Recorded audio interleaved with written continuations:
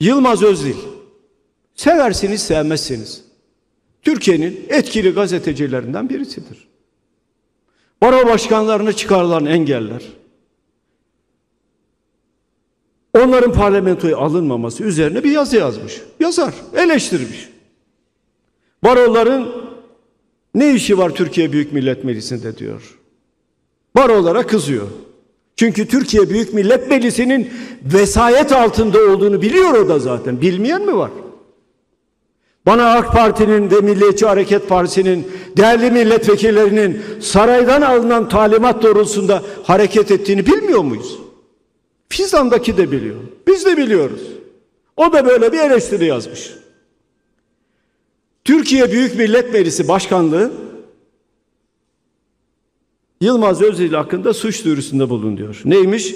Türkiye Büyük Millet Meclisi'ni alenen aşağılama iddiasıyla, hakaret iddiasıyla suç duyurusunda bulunuyor. Güzel. Türkiye Büyük Millet Meclisi'nin itibarını korumak hepimizin ortak görevi. Yani sadece milletvekillerinin değil, bu ülkede yaşayan her vatandaşın ortak görevidir. Neden? E, demokrasinin kıblesi burada. Milli irade burada tecelli ediyor. Vatandaşın oyuyla gelen milletvekilleri burada görev yapıyor. Her milletvekilinin ne olması lazım? Ahlakta olması lazım. Her milletvekilinin ne olması lazım? Kendi çıkarlarını değil, ailelerinin çıkarlarını değil, yandaşlarının çıkarlarını değil, milletin çıkarlarını savunması lazım.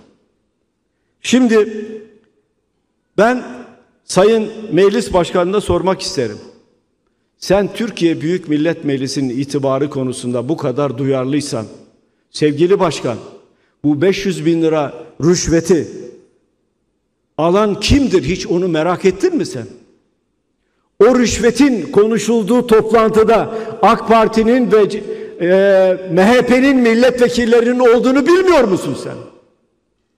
O milletvekilleri 500 bin liralık rüşvetin konuşulduğu toplantının tanığıyken hiçbir şey yapılmadığını sen bilmiyor musun? Ve ben burada bu kürsüde 500 bin liralık Antalya Serik'te 500 bin liralık rüşvetin alındığı karşısında sessiz kalanların rüşvete ortak olduklarını söylemedim mi? Ve onların da ağzını bıçak açmıyor. Sen bunu bilmiyor musun? İtibarını koruyacaksan çağıracaksın o iki milletvekilini. AK Parti'nin ve MHP'nin milletvekillerini. Kardeşim parlamentonun bir itibarı var. Siz milletvekilisiniz. 500 bin liralık rüşvet alındığını oradaki iki bakan söyledi. Ben o iki bakanı çağıramıyorum. Neden? Çünkü onlar milletvekili değil. Ama sizler milletvekilisiniz. Parlamentonun itibarı dolayısıyla bu olayı soruşturacaksınız. Dersin. Dedin mi? Demedin. Şimdi sen kalkmışsın bana meclisin itibarından söz ediyorsun. Ayakkabı kutusunda rüşvet alanlar vardı burada. Ayakkabı kutusunda. Meclis başkanına seslenmek isterim. Ayakkabı kutusunda rüşvet, rüşvet alan, alan adam, yani şimdiki büyükelçi, o kürsüye çıkıp konuştuğunda siz hep beraber alkışlamıyor muydunuz? Hep beraber alkışlıyordunuz. Bu mudur itibar? Meclisin itibarını bozan sizsiniz aslında. Meclisi itibarsızlaştıran aslında sizsiniz. Bir odaktan talimat alıp el kaldırıp indirenler sizsiniz. Ahlakı bir tarafa attınız. Hukuku bir tarafa attınız. Adaleti bir tarafa attınız. Sadece ve sadece kalktınız. Ayakkabı kutusunda affedersiniz çikolata kutusunda rüşvet alan adamı alkışladınız siz ya. Hangi itibardan bahsediyorsun sen? Değerli arkadaşlar, yine bu kişi milletvekiliyken Allah'ın kelamı olan Bakara suresini her cuma günü Bakara makara yazıyorum bir tweet atıyorum diyen adamı siz alkışlamadınız mı? Allah'ın kelamıyla dalga geçen adamı büyükelçi yapmadınız mı? Dindar olduğunu söylüyorsun. Allah'ın kelamıyla dalga geçen adamı alkışlayanlara Türkiye Cumhuriyeti tarihinde ne zamandan beri dindar demeye başladılar?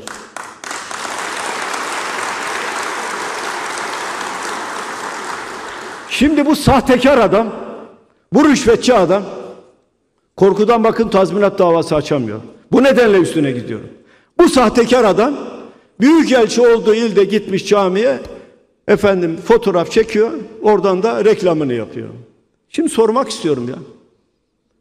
İbadette reklam var mıdır? İnançta reklam var mıdır? Yani Allah'ı kandıracağını mı sanıyorsun sen?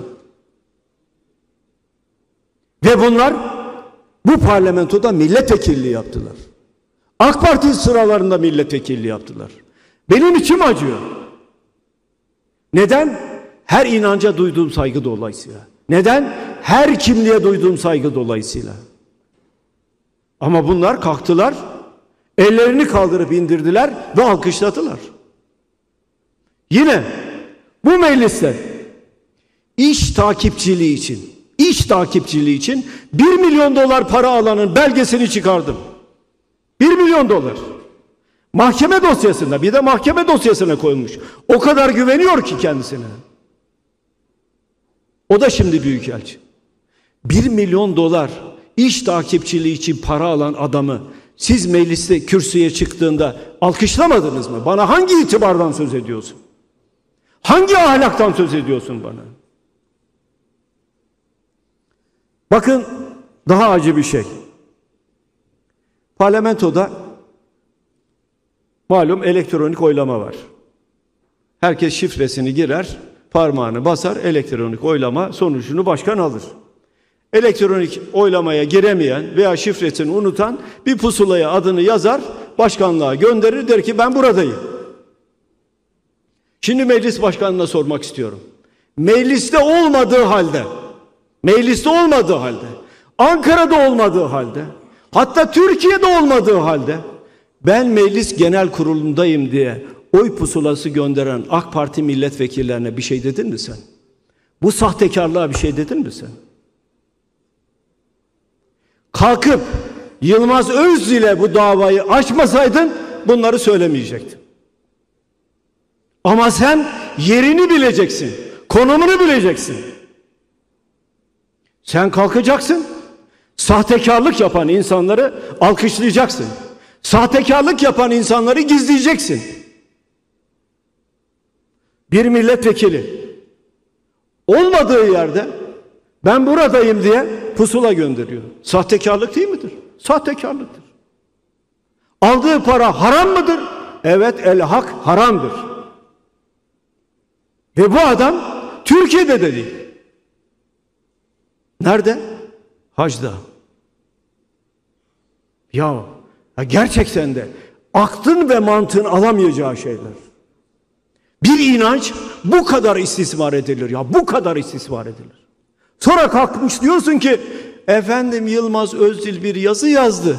Türkiye Büyük Millet Meclisi'nin şahsiyetine hakarettir bu. Ya hakareti siz yapıyorsunuz. Değerli arkadaşlarım, bu yeni olaylar değil zaten. Eskiden de vardı bu. Jet Fadıl diye birisi vardı değil mi? Hatırlarsınız. AK Parti'nin en önemli adamı Jet Fadıl.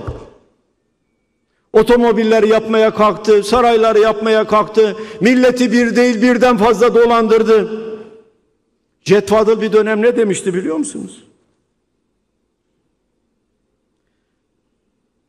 Jetpar'ın ihtiyacı olsaydı Sergen'e yaptığım yatırımla o dönemin sporcusuna para veriyor. 20-25 tane milletvekili alırdım. 10 milyara, 50 milyara, 30 milyara milletvekili alıyorsun. Milletvekili satın alıyorsun diyor. Jetfa da söylüyor bunu. Satın alınan milletvekilleri var mı? Elbette var. 1 milyon dolar var mı? Var. İş takipçiliği aldı mı? Aldı. Ne demektir bu? O milletvekilini satın almak demektir. Sen meclis başkanı iken buna ses çıkardın mı? Saraya gidip de Sayın Cumhurbaşkanı, Sayın Erdoğan, Sayın Genel Başkanım, rüşvet alanlar ne zamandan beri büyükelçi tayin edilmeye başlandı? Bu Türkiye'nin itibarına zarar verir. Vazgeçtim Türkiye Büyük Millet Meclisi'nin itibarından. Türkiye'nin itibarına zarar veriyor. Dedin mi? Demedin. Diyebilir misin? Diyemezsin arkadaş. Diyemezsin sen. Diyemezsin sen. Onu söylemen için mangal gibi yürek lazım. Mangal gibi yüreğin olacak.